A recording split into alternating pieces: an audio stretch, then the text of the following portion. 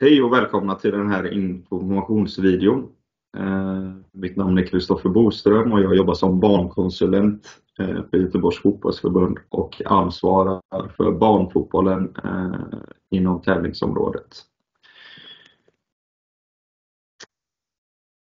Om vi börjar med att titta på vår tävlingsmatris eh, som ni kan bland annat titta på vår hemsida gbgfotboll.se eh, under eh, tävling och spelformer så är det egentligen en översyn eller en översikt över alla våra spelformer, i vilken ålder man spelar respektive spelform och vad vi har för regler och rekommendationer till det, kopplat till allt från bollstorlek till mål, planstorlek, Eh, speltid, rekommenderat antal spelare,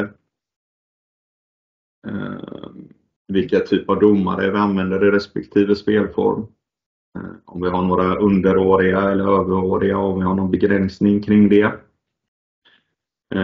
Och även vilken form av anmälan och hur seriespelet eller tävlingsspelet rättare sagt är utformat för respektive spelform. Eh, ni ser också vilka utbildningskrav och rekommenderade utbildningar som vi har för respektive spelformer. Så det är ett bra sätt att få en liten större eh, översikt över våra spelformer och kanske framförallt då om man är eh, ny in i en spelform. Detsamma gäller på när vi är inomhus och spelar futsal. Där har vi också olika spelformer. Just för er då eh, som är här för just 3 mot 3 så är det egentligen samma, precis likadant som i fotbollen, eh, med några få undantag. Eh, I futsalen använder vi till exempel bollstorlek 2, till skillnad från i fotbollen där man använder en 3. Bollen är även dämpad i futsalen, vilket är det är väl det som är den i princip den enda skillnaden jämfört med hur vi har det när vi är utomhus och spelar fotboll.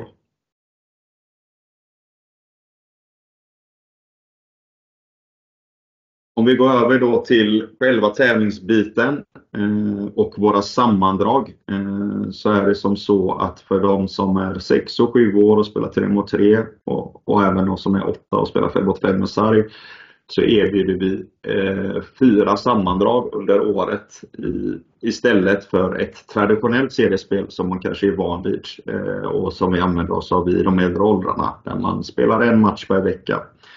Eh, här samlar vi det istället så man spelar några fler matcher under en dag och så spelar man under fyra gånger under året då.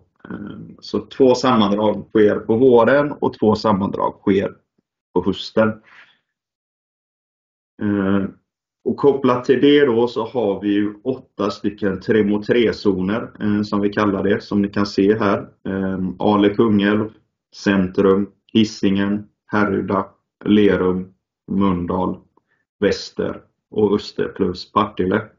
Det är inom varje 3 mot 3-zon då som man spelar de här sammandragen. Så alla ni föreningar tillhör någon av de här åtta zonerna. Eh, när ni då ska anmäla lagen, eh, vilket vi kommer gå in på lite senare hur ni gör, eh, så ska ni bara då anmäla till de sammandragen som sker i eller som går av stapeln i respektive zon. Ibland kan vi göra undantag om det är så att man kanske har missat ett sammandrag eller att man kanske ibland, oftast kanske på flicksidan, eh, kan behöva slå ihop två sammandrag för att få ihop tillräckligt med lag. Eh, så kan det bli att man får eh, möjlighet att spela sammandrag i en annan zon. Men annars är grundtanken att man bara deltar i de sammandragen som är i respektive zon. På vår hemsida gbgfotboll.se eh, så kan ni också se eh, vart och när de aktuella sammandragen äger rum både i fotbollen och futsalen. Eh, det uppdateras den sista januari varje år. Så från och med det datumet i år så kommer ni kunna se när och var sammandragen spelas under säsongen. Anmälan till dem öppnar dock inte förrän sista mars. Så det är först då ni väl kan anmäla era lag. Tittar vi på futsalen och hur vi gör där eh, så använder vi oss även där utav sammandrag. Eh, dock inte i de här lokala, åtta lokala zonerna som jag visade eh, på den föregående sliden. Utan här så kan man hamna lite mer utspritt och även få möta andra lag. Eh, beroende på vilka hallar vi har att tillgå egentligen. Eh, nämnde det tidigare, men det tåls att säga igen. Det är samma regelverk eh, i futsalen i 3 mot 3. Med skillnaden att man använder en dämpad boll som är något mindre. Det är även så att ibland kan målstorleken variera och att vi använder innebandymål istället för de här speciella 3 mot 3 målen.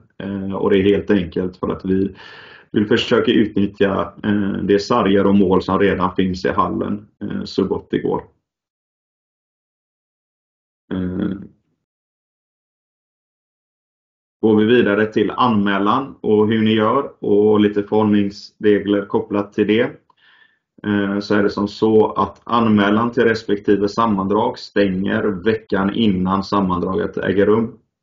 Nu står det att det är på onsdagen här, men det är på tisdagen veckan innan sammandraget äger rum. Det vill säga 11 dagar innan sammandraget eh, spelas. För det ska man också ha med sig att sammandragen sker alltid på lördagar i 3 mot 3. Det är väldigt viktigt att anmälan också görs inom ramen för anmälningstiden. Eh, för att dels blir det dyrare om man anmäler ett lag i efterhand. Eh, men det blir framförallt, inte helt omöjligt, men nästan omöjligt att få in ett lag som anmäler sig för sent. I och med att vi sätter igång med spelschemat nästan i princip dagen efter att anmälan har stängt. Eh, så Då är det väldigt svårt att få in ytterligare lag. Eh, vill man vara säker på sin plats så att man får delta så får man anmäla sig i tid. Spelprogrammet görs ju då direkt efter att anmälan har stängt Eh, och publiceras senast på fredagen veckan innan sammandraget äger rum. Det vill säga 8 dagar innan det spelas. Eh, I fotbollen utomhus är man garanterad 4 matcher per sammandrag. I futsalen så har vi en match mindre där man garanterar 3 matcher per sammandrag. Eh, men där vi alltid försöker få till 4. Men 3 är det som vi garanterar som ett minimum. Anledningen till att det är en viss differens där mellan hur vi har fotbollen och futsalen är helt enkelt på att vi inte eller ofta inte har lika mycket halvtider eh, inomhus. Eh, vilket gör att vi inte alltid kan garantera fyra matcher om det är väldigt många lag som är anmälda. Eh, oavsett om det är fotboll eller futsal eh, så har vi ju då värdföreningar eh, som är någon utav alla våra föreningar som tillhör Göteborgs Fotbollsförbunds distrikt som arrangerar och ansvarar över sammandraget på plats. Vi på fotbollsförbundet eh, tar ju upp anmälan och gör allt förarbete med spelprogram och så vidare. Medan vi då har en förening som på plats då har hand om arrangemanget och framförallt sätter upp planerna och målen och kanske även har café och lite personal som är där och hjälper till. Till skillnad från våra äldre åldrar eh, så använder vi inte Fogis Eh, när vi anmäler våra lag, utan vi anmäler våra lag till 3 mot 3 sammandragen via ProCup.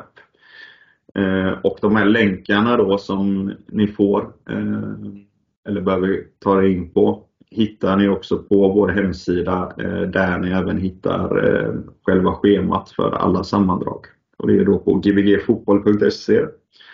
Så Går ni in på tävling Eh, och sen väljer ni fotboll eller futsal då beroende på eh, vilken tid på året det är. Och Så går ni ner på spelformen 3 mot 3 eh, och flikar sammandrag så hittar ni alla länkar där när det blir dags för att anmäla era lag till sammandragen.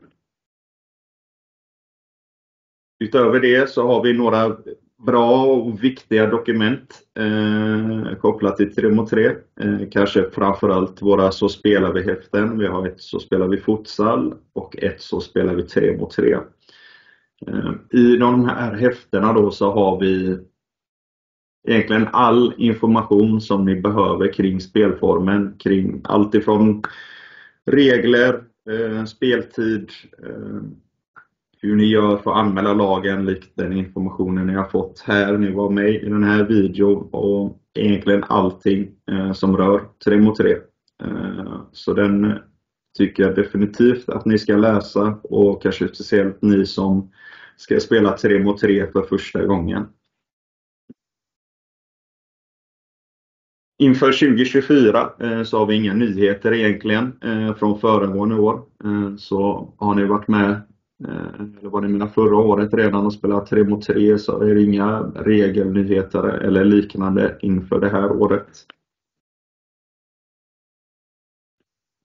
Går vi vidare till lite förtydligande och rekommendationer. Eh, så är dels 3 mot 3 är ju en nationell spelform eh, och är något som 6 och 7-åringar ska spela över hela landet. Och tittar man på SVFFs hemsida och någonting som de eh, eh vill trycka på och rekommenderar eh, så är det kopplat till speltidsgaranti.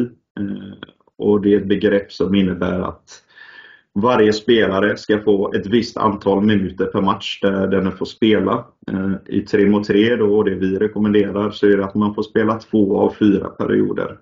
Det vill säga under våra sammandrag då att man får spela två gånger tre minuter.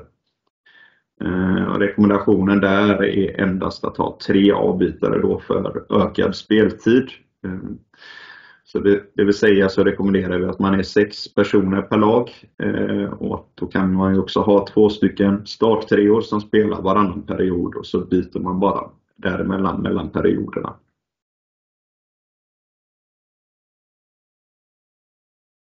Går vi vidare till ansvar och lagens ansvar Ehm, så har vi dels det att minst en i varje åldersgrupp måste vara en utbildad 3 mot 3-ledare, det vill säga ha genomgått den workshopen som det går nu. Ehm, sen rekommenderar vi att så många som möjligt, eller alla eh, ledare, går den. Ehm, men i alla fall att man har en som har gjort det. Och det är också någonting som man måste ange när man anmäler sina lag till, eh, till våra sammandrag, vilken den här personen är då. Att man informerar sig om de regler och förutsättningar som gäller för sammandraget. Ehm, det är också väldigt viktigt. Eh, det är så att man kan reglerna i sig och att man också tar del av den informationen som går ut i föreningarna efter att spelschemat har publicerats. Ehm, för ibland kan det skilja sig lite åt från sammandrag till sammandrag. Liksom. Ehm, att man även tar del av spelschemat, självklart. Går vi vidare till domare så är det som så att på de allra flesta sammandrag eh, så är det inte värdföreningen som står för domare utan det är hemmalaget. Och med hemmalaget så menar vi det laget som står först på spelschemat i en match. Eh, och då ska det här laget ha med sig både domare och boll. I fotbollen då där vi har fyra matcher så har man ju vanligtvis då två hemmamatcher eh, på sammandraget där ni står för domare och boll och så har ni sedan två bortamatcher eh, på sammandraget där motståndarna står för detta. Domaren då ska helst ha gått en föreningsdomarutbildning eh, och ska vara idrottsklädd eh, inklusive visselpipa. Något som är väldigt viktigt eh, på våra sammandrag, de det kan variera men de kan bli ganska stora med många lag och det är ofta ett tajt spelschema för att alla ska kunna spela.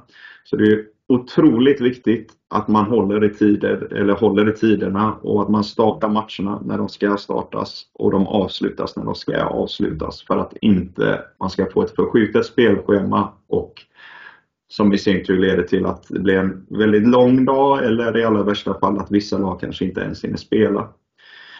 Speltiden är ju fyra perioder gånger tre minuter. Det vill säga är den effektiva speltiden är 12 minuter. Matcherna ligger var 20 minut. Så från att matchen startar till den avslutas har man 20 minuter på sig att genomföra de här 12 minuterna. Se till att vara där i god tid. Eh, vi rekommenderar att man är där senast en halvtimme innan sin första match eh, och att ni kommer ombytta. Det är också för att det kan se väldigt olika ut på våra olika faciliteter som vi har eh, här ute. Eh, och det är också väldigt många barn och många lag som är med på de här sammandragen. Eh, så kom ombytta så blir det det smidigaste för alla. Och framförallt, men inte minst, att man ser till att ha roligt och sprida glädje i enhet med Så spelar vi tre mot tre eh, och som också är anledningen varför vi alla är här.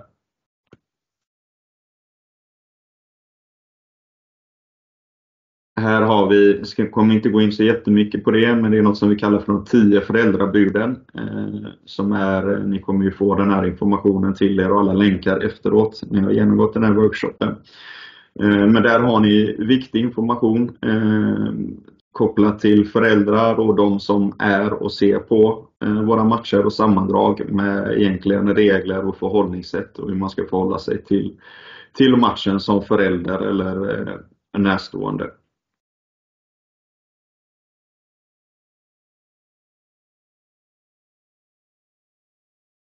Är det så att ni har några frågor eller dylikt Eh, så är det mig då, eh, Kristoffer, man ska vända sig till eh, som ansvarar över barnfotbollen. Det står från 6 till 12 år. I alla fall de bitarna som rör tävling. Och Det går bra att nå mig både via mailadressen eller via telefonnumret som står här. Annars får jag tacka så mycket för att ni lyssnade och önska er ett stort lycka till inför kommande säsong och hoppas att ni får ett kul och lärorikt år. Tack!